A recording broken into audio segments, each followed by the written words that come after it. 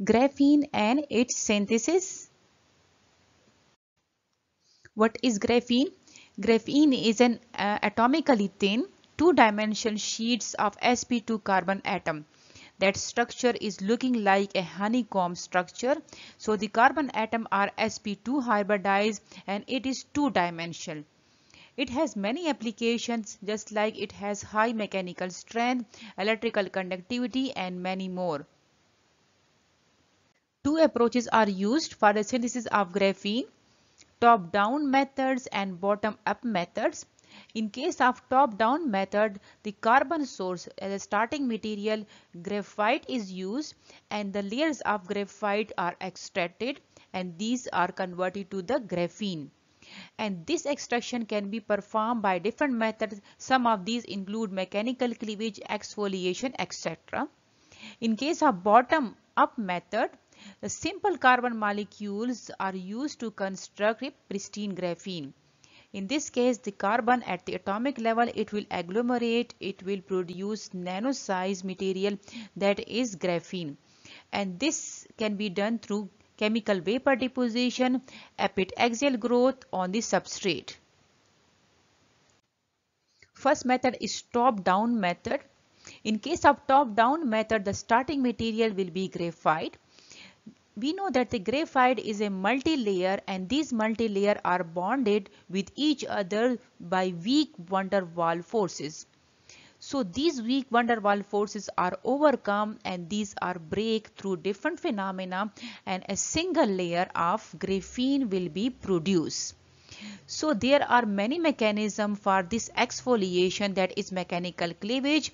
We can remove this graphite graphene layer from the graphite through mechanical cleavage, liquid phase exfoliation, oxidation exfoliation, etc. And from this multi-layer graphite, a single layer graphene will be produced.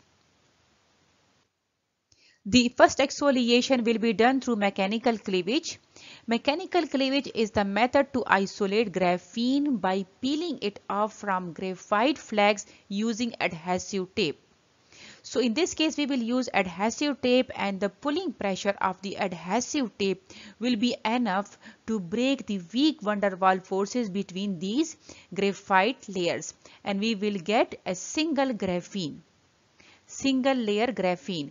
So if we look at this diagram, the blue area is adhesive tape and the gray portion is graphite. So by removing the adhesive tape, it will remove some of the graphite layers with it. So if we look at A and B, there is difference of the graphite layer. So here a few layers of graphite are left and in A there are many layers of graphite that are removed by the uh, adhesive tape. So in this case the adhesive tape is again put on the graphite and it will again remove some of the graphite layers. So if we look at this see there are very few layers of graphite. So by repeatedly performing this process we will get a single layer graphene. This single layer graphene will be uh, put on the substrate that is silicon silicon dioxide and the glue will be dissolved using acetone. So all these uh, sketch will show the uh, mechanical cleavage that is exfoliation done through the mechanical cleavage. This is adhesive tape and the graphite layers are removed by repeatedly performing this process we will get a single layer graphene. Second exfoliation method is liquid phase exfoliation. So in this case, we will get the graphene in liquid phase. So graphite is dispersed. So this is the starting material that is graphite. It is dispersed in some organic solvents and the surface energy of this solvent will be enough to break the van der Waals forces between the graphite layer and it will be then sonicated in ultrasonication bath and the single layer graphene will be produced that are dispersed in the uh, liquid phase. So in this case the graphene will be obtained but it is in liquid phase. Third exfoliation method include oxidation exfoliation. So due to the several functional group that is epoxide and hydroxyl, the graphene oxide that is produced during this process will be hydrophilic and it is easily dissolved in water. But first we will produce this graphene oxide. So the graphite will be used as a starting material. On oxidation it will produce graphite oxide. Now it is graphite oxide which means that it is multi-layer but it has oxidation uh, and it has oxygen containing functional groups. By by mechanical or chemical exfoliation, this graphite oxide is exfoliated into graphene oxide. Now this graphene oxide, it has oxygen groups and it is easily dissolved in water by stirring or sonication. During this process, this graphene oxide layer will get negative charge. Now the graphene, one graphene oxide will not form bond with another graphene oxide and because they have negative charge and they will repel each other. Now the layers of graphene oxide will become separated from each other. Now this graphene oxide will be reduced to reduced graphene oxide that has properties almost similar to pristine graphene. Second approach for the synthesis of graphene is bottom-up method. In this case, we will start from the atomic carbon and that we, then we will produce graphene from it. So it will include epitaxial growth. Epitaxial graphene growth is a substrate-based method where isolated monolayer of graphene is grown on single crystal silicon carbide under vacuum.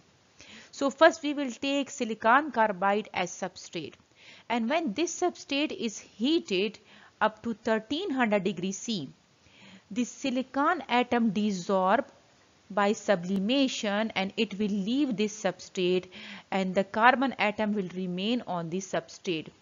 Now the carbon atom, it will undergo reorganization and it will produce a graphene layer on the substrate. Second bottom up method is chemical vapor deposition. So in case of chemical vapor deposition, a substrate is exposed to gaseous compound and these gaseous compounds are decomposed on the substrate at high temperature and upon cooling of this substrate, the hydrocarbon compounds undergo nucleation or precipitation and it will produce the desired product.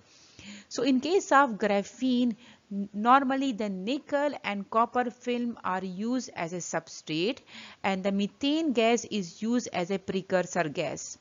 So when it is exposed to it, it will undergo decomposition at high temperature and upon cooling of the substrate, it will undergo the precipitation or the process of nucleation and it will produce the graphene sheet.